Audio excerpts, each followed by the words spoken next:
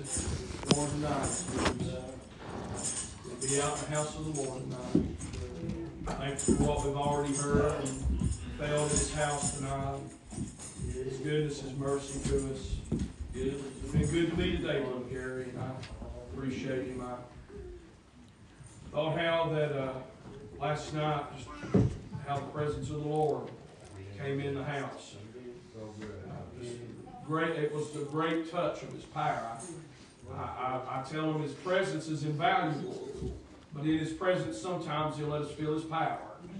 Amen. And I'm glad when the power comes with the presence. Ain't you? Seen Brother Gary last night running through here, shouting getting in. Looked so good. I love, love what we seen, love what we felt, what we heard.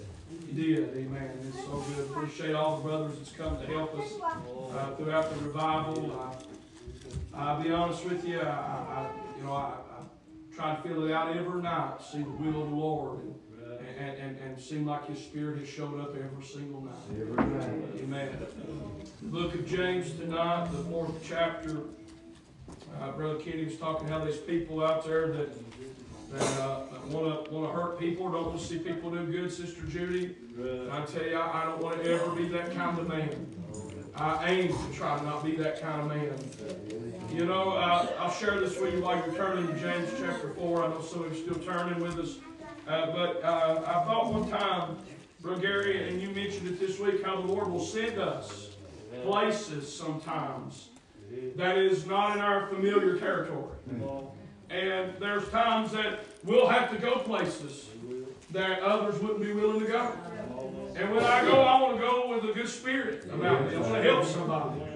But Gary, I'll never forget this. I was at a place preaching down in the south, and uh, there was some people come from a, uh, from a, a, a, First Baptist church, First Baptist big church, from another county. And uh, that night I was preaching holiness. And, and I did not realize who was in that crowd. Didn't, didn't scope the crowd. Didn't see who come through the door so I could preach on them and pick on what they was wearing. But uh, what I didn't know, they sitting right there wearing some of the things I was preaching on. I thought, Lord, I've hurt that poor little woman. She'll never come back to a holiness church. I, I, I, will be honest with you, it bothered me. I went to bed that night bothered. But you know, she come back out the next night and looked different than she came. I come back home and uh, they called us and said, this is pastor from the first, well, maybe it's one of his deacons, one of his guys that does the calling for him, from this First Baptist church, big old church, said, we'd love to have you come and preach us a revival. And I thought, now, Lord, did they call the right guy? This is the same guy that come and heard, you know. And uh, sometimes, Brother Joe, God knows what I don't know. And I went, gladly went. And I had the hard, one of the hardest times preaching. A very organized church, part of the uh, S- SBC, you know, and and it's just very difficult to preach there. Some of the people kept saying, "Quit holding back, Charlie." Some of the holiness folks that come and visit said, "Quit holding back." I thought, if you could, you ain't my shoes up here looking back through there. And uh, but you know, the Friday night, the Lord helped us and they wanted us to share a pulpit with a man, and he preached first, and we preached next, and the Saturday we preached, and looked down, and one of the leaders of the church was sleeping, you know, trying so hard to preach. But that Sunday morning, uh, and they were enjoying it, but I, I knew that they, I was waiting on something to come by and help me. And Brother Joe, uh, they had done their Sunday school. I went to their Sunday school that morning, and they didn't do it in the sanctuary. They had a whole lot of faculty and people. So they sent Papa back to a room with a bunch of older men, and Mama back to a room with a bunch of older women, and me back to a room with a bunch of teenagers. And we sat there, and I was just trying to make it to that service time, you know, to start, worship service time to start. And, and uh, the pastor come, and he leaned his head in the door. And he said, Charlie, when they get done here, come to my office. And I thought, you know, that's a strange thing to be told. And so I made my way down the little hallway and made my way into the foyer, sanctuary over here. I went into that office, and uh, when I went in, he was listening to a man that had worked among us worked among your people, Brother Vernon, knew your people well. And I said, You listen to that guy? He said, Yeah, I do. He said, I love to hear that kind of singing like you all do. Brother Gary said, Sit down. I sat on that sofa. He was behind his desk. And uh, Sister Lindy looked across that desk and he said, Charlie, my brother is part of the 16th Council in a big organization, said he's uh, over the state of Nebraska, over the state of North Dakota, South Dakota, them three states, and said, I tell him sometimes, brother, to his brother, told his brother, he said, whatever you do, don't forget where you and I come from. Whatever you do, don't forget where we started. I thought, what's he saying? He said, Charlie, my mama was a holiness woman and said she she dressed this thing just right. He said she'd shout and the pins would bust out of her hair and her hair would go right to the ground and touch the ground. Said she wouldn't even allow a TV in her home. And I'm not bashing you if you do. I'm telling you what he told me about his grandmother. I'm not, I'm not bashing nobody. I'm telling you what he told me. And he looked across that table at me and he said, Charlie, we have lost some things. He said, I have lost some things. And I said, God, now I know why I'm over here in this big old Baptist church. And that morning I let it cut loose. That night I come back, let it cut loose, the crowd was off. Oh yeah, a big old crowd Sunday morning. They wouldn't mean to come back to hear me Sunday night. But oh, I was a shouting by that time. Feeling the good Holy Ghost. And that pastor was enjoying himself. I'd love today to have a good spirit to help somebody, wouldn't you? Amen. I didn't, I didn't bring no club with me when I went down there. But when we left that night, amen, they, they never did invite us back. They said if the organization would have knew what he allowed to go on in his church that weekend, they'd have removed him. But you know what, Brother Vernon? I enjoyed myself and they enjoyed themselves. And uh, I, I, thought, my, my Lord, you knew before I knew. So he knows, don't he? He knows. And look at James, the fourth chapter, the 13th verse. It said, Go to now, ye that say today or tomorrow we will go into such a city and continue there a year and buy and sell and get gain. Whereas you know not what shall be on the morrow, for what is your life? Is even a vapor that appeareth for a little time, and then it vanisheth away. For that you ought to say, if the Lord will, we shall live and do this or that. But now you rejoice in your boastings, and all such rejoicing is evil. Therefore to him, and this is what gets me. This is what gets you, no doubt, many a time. Therefore, to him that knoweth to do good and doth it not, what is it? Sin. To him it is sin. sin. I thought tonight uh, we are just going to preach for a few moments, try not to hold you real long. But you know, tonight I read the scripture and it said, Go tell them uh, that you hear saying, uh, tomorrow we're going to go to a city and we're going to buy and we're going to sell and we're going to get gain. You know, we're in a time right now that people, I mean, just like the scripture said, they suppose that gain means godliness. But you know, today I found Brother Doug, if there's something in this life that means more than my bank account, there's something in this life that I feel means more than what I pulled up in this driveway in. I'm telling you today, friend, what's going to matter in this life is what you and I have with God. Amen. That's what really means the most today. But he said, You go tell them to say, We're going into a city and going to buy and sell and get gain. You don't know what's coming tomorrow. I mean, he said, What is your life? It's even a vapor uh, that appeared for a and it vanisheth away. Glory to God. And, you know, I've been feeling this on our heart today. And we're in a time right now, like they said earlier, uh, there's so many distractions, and that enemy's trying to get people's minds, and he wants to hinder God's people. Amen. I'm talking right now to the very elect. Uh, he wants to hinder. Uh, but Brother Kenny, it rolled over in my heart today. We don't have much time left. There's not much time left. And I want to redeem the time that I have and use it wisely and use it for Him. Not to use it, Brother Bevan, to complain about this.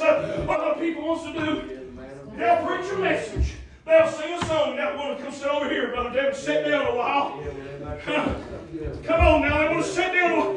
And sometimes I'll even begin to want to nuzzle up to Devin or, you know, just using him as a, so maybe out here and say, Charlie, you're doing good. But friends, sometimes we need to get it in our mind. It don't matter about the pat on the back. I just want to do the will of God. And at the end of the day, I'm going to profitable servant, but I want a place healed. Come on. Brother, he went and done the will of the Lord. Jeroboam spoke against him. He saw God was on his side, that prophet did. God withered his hand, withered Jeroboam's hand. And then Christian the Lord used Jeroboam to heal that man's hand. Great king, great status. Jeroboam went from wanting to kill him, wanting to invite him home for supper. Huh? That little prophet said, I don't have no time to waste. Now I will tell you something. He'd already received the spoken word of the Lord. That's word. It wouldn't matter at that point if an angel would have showed up. He shouldn't listen to nothing else but that that spoke. I've heard people say, Brother Kenny, I know what the Bible says, but God told me, I'm telling you, if it don't line up with this, It will not. it was another spirit. That's right. Amen. Well, I feel the Holy Ghost. That's, that's another spirit. We've seen that in a good time, but Gary, you've seen that happen. I've seen it happen before, Brother Kenny. He done the right thing. He told Jeroboam, I, I don't care to go home and eat with the king. Hit it off down the road. You want to hear what we, we often skip to that lying prophet Yeah. Who saddled up an ass for his sons and sent them after him to say, Our father's a prophet just like you. He said to come back home and eat. We want to skip that. They had never caught him.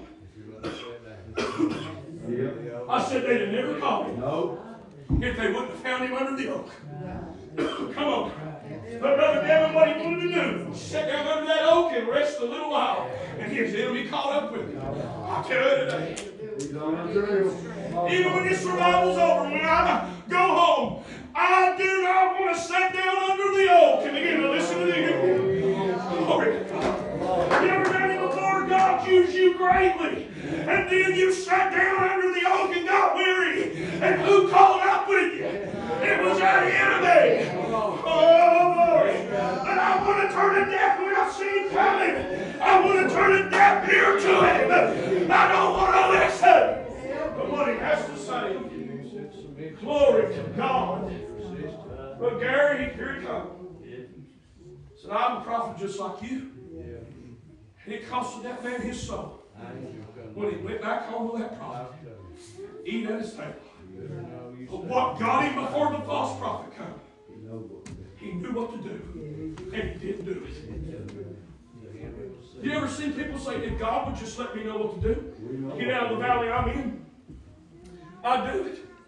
Honey, it's sitting over on your coffee table. You draw your name in the dust, just go get it.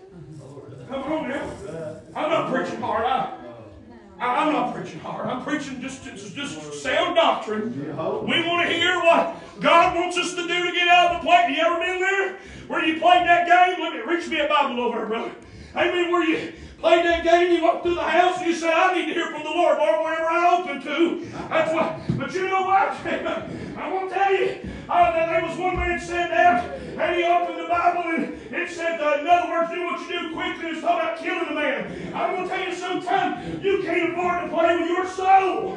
I'm telling- if Brother Doug will come touch me on my shoulder, then I know God's moved on me. But honey, there's a way you can fast and pray. You don't have to play games with God. You can have confidence in that that's moving on you. And I'm making sense to that. I don't want to waste no time. Waste no time.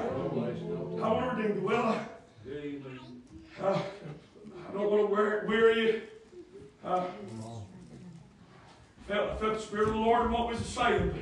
But I don't want, don't want to weary the people. We want to use wisdom.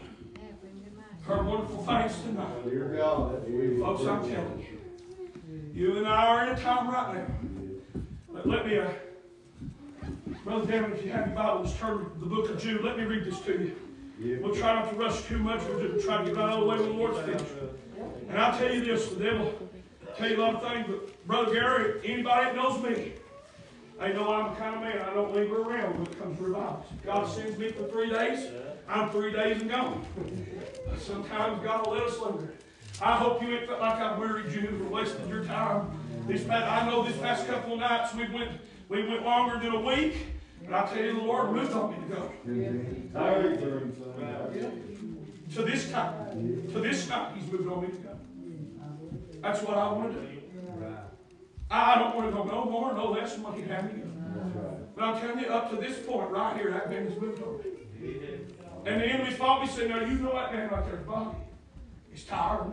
He's got things going on. I'm telling you today, I looked at Brother Gary last night, Brother around his heel. That's what our people do. That's what we need. That'll reach in the heart, heal these wounds. And these people come in and say, Lord, I'm telling you, the Lord told me about this a while back. We got people slipping away. I, I, please don't take me wrong. I, I, I'm not that kind of man to be hard. I'm not, and I'm not, I'm, I'm not out to be. But Brother Joe, if I come pray for you every service, that's good. You need prayer, no doubt. If I come, but these people sit back there saying, God, if you could please hear my cry. If you could hear my cry. I want to get a hold of something that'll reach back to the people right. and help God's little people. Come on, Fire away, amen. help God's children. I want you to read this. This is what you and I. Time's, time, time's ticking away, folks. Go to Jude chapter, uh, well, one, chapter 1, verse 20, and read down to the last verse. This right here is what we're commissioned to do. Now, I'm telling you, it's slipping away from us. Read this, Brother Devin. But ye, beloved, building up yourselves on your most holy faith, Building up yourselves on the name, No. building up yourselves on somebody else's testimony, No. but on your most holy faith. Faith in what? Faith in Jesus. That's right. Come on now. praying in the Holy Ghost. Mhm. Keep yourselves in the love of God. I'm gonna tell you, you can do what you want to do. You can jump the pews, you can swing back and forth from the chandeliers. But if you ain't got the love of God working in what you're doing, it ain't gonna, it ain't gonna avail nothing. We got people dying lost every day. And you know what's going to do the work? Love will do the work. Paul said that God has given us the ministry of what? Reconciliation. We got people that needs to be reconciled to God. I don't want to them on down in the place they're in, but I'd love to stretch out my hand and say, Come and grab a hold of my hand. Let's pull together. Amen. Hallelujah. Glory to God. Brother Gary, you and I known each other since I little boy. You've been my bus driver. But I'm telling you this week, I mean, I love to come up here. I had it on my mind for a while. God finally moved on me to come. Brother Gary, you know what I believe me and you did? I believe we pulled together. Glory to God. I'm telling you, I look around here tonight and I mean this. I don't see anything in between me and any of you. That's why the Spirit can move freely. That's why God's moved. We've got one mind. Glory! Love lifted me when all else failed. Love it lifted me. You know what we need in the house of God? The love of God. He'll do these things that me you can't do. Glory to God. I thought about Jeff the other night. Sitting back on that back pew. He may not have prayed. He could not leave Little Creek though and say he didn't feel loved. I love having that God's children. I love having that God's children. Did you feel that love move? It will do the work. Amen. Brother Devin, I apologize to interrupt you. Read on. looking for the mercy of our Lord Jesus Christ unto eternal life. And if some have compassion, making a difference. And it will make a difference. Somebody said, What can I do, Brother Kenny, to make a difference? Well, I'm going to tell you. Amen. Just have a little compassion. Show a little love. It'll make a great difference in a person's life. Glory to God. Amen. You know what, Melinda? You're here tonight because somebody showed you love. You're here tonight, Sister Kim, because somebody showed you love. Now, I'd like to tell you today, Sister Kim, we're in a time right now. People said there is no more love in the house of God. I don't know who. I don't know who said that. They lied. They still love. Come on, just give it a little while. They still love among the people of God. Amen. It will make the difference.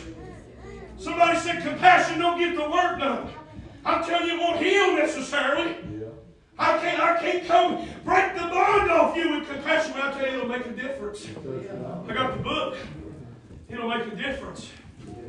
Amen. We'll let you fish. Another saved with fear, pulling them out of the fire, hating even the garment Spotted. spotted by the flesh. That's what I wanted him to read right there. Thank you. Amen. Reaching into that fire. You know what I found? We're in time right now. There's too many people afraid of getting burned. Now, I gotta be honest with you. And you may say, here you go on one of your soapboxes. We've been in our soapbox for a little while, I guess. But God's really dealt with me on this. We come to church, maybe 15 singers. Anybody got a song. Looking at one another. You ever been guilty of that? 15 preachers, 20 preachers, and next many churches out there saying, God, we need help. I've been there where I was guilty. Anybody got a message? Uh, you know what? I'm afraid we're in a time right now. A lot of people just want that label. That's all that matters to them. If they can get a label, I, I feel like they think they made it. that label's going to burn off in hell. Come on now. Somebody said, Does it matter the sign over the door? I said, No, because sign's going to burn in a little while. You better get it right down in your heart. Come on now. Come on now. Amen. You get it in your heart, you'll be holy. Yeah.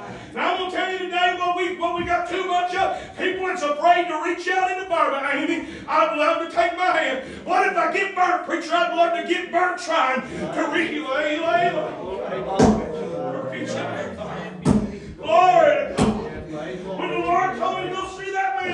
and I went to his house, you, I didn't want to go. The other man that got down with me about was a lot easier to talk to. I almost went by the other man's house, I'm glad I didn't, Brother Kenny. God let me preach that man his last message. Just a few weeks later, they done cremated that man. I'm telling you today, reach in the fire, uh, reach in the fire. Ain't much time left. Well, hallelujah. Glory to God. Brother Doug, I looked down there a while ago and you was shouting.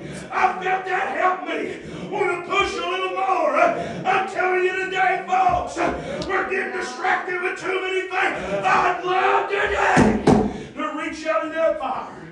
Get it again. We ain't trying to weary you. I tell you tonight, we're running out of time. So they talking about falling, people falling. I want to be that kind of person. I'll stick my hand out. and Say, let me help you. This morning I was aggravated, Brother Vernon. Me and Natalie had to run down the road. I was going down that hill. Next thing I knew, my feet from right under me, and I was laying on that ground. Shoulder hurting, still hurting. Uh, Natalie's standing over top of me saying stuff. I said, go to the car, go to the car. I'll get that, I'll be honest with you. Uh, we got hurting people. You get next to them and they feel them wounds. You feel them. You can feel that deep down. They won't help, but it seems like they're pushing it away. Brother Kenny, I'd love to be that kind of man. I'd get right down there with you. I remember when, when, when I got put in the hospital. It was right at COVID. Right at COVID. When, when COVID first started coming into America. And I thought how that, uh, that it really hadn't spread here yet. I believe in my heart that's what I had, Brother, Brother Gary. I got so sick. You know, you just they put me in the hospital. You don't hear many 18-year-old men, 19-year-old men get put in the hospital over breathing. But whatever that was I got was terrible. And it ca- caused that asthma to flare up. And, and uh, but you know, I thought one night there was a lot of people that, that could have texted. I sitting there feeling sorry for myself. Nobody texted to tell me they was praying for. I'm kind of feeling baby-fied, huh? I think we need to quit being so baby-fied. My brother Jason said, get sanctified, it won't matter. And I'll be honest with you, it was wearing on my mind a little bit. I thought, well, I was praying for sick people. Ain't nobody. But you know what? It wasn't a preacher. It wasn't a prophet. Tom Hilton's boy, Jerry, come walking through that door. He wrapped me up. He didn't care what I had. He would reach right down that bed and wrap me up and pull me up to him. As pale as a ghost. I started crying. Praying for him. We got too many people that's afraid of getting their hands dirty. I've heard them say, don't go. Don't go down the road over there and preach or down the road. There's a mess down there. There's a mess. I'd love to go get right down with them. Folks are very Say, let's man. push a little. You ever had to do it, Brother Gerber? You lay, you lay, you lay. You love me. You lay, I'd love to get right down, right in the bar if God let me. Get right down in the bar with them, say, let's push a little while. I'm telling you today, friend, we got too many people that's afraid of getting their sanctified hands dirty. But my Savior ain't never got his hand dirty, huh? reaching out into the bar to help somebody. huh? Ain't you glad today that? Well, like I said, I, like Brother said, I, you tell people's tired tonight. I, I'm the kind of man I can preach on with what I feel that I want to use wisdom tell maybe that we people